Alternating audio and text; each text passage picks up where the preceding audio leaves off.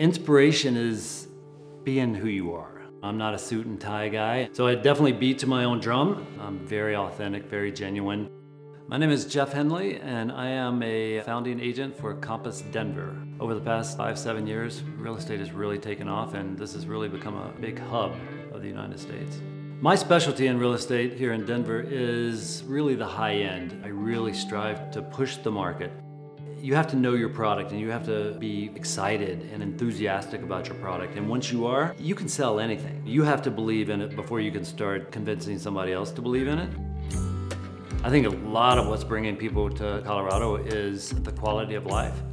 Where I really get my solace from is driving my car and just being on the open road. I conduct probably 30% of my business while sitting in my car. It's where I become me. Being loyal, being trustworthy are the two most important things to me. It really comes down to being yourself and doing so with a knowledge that makes you a professional in your industry.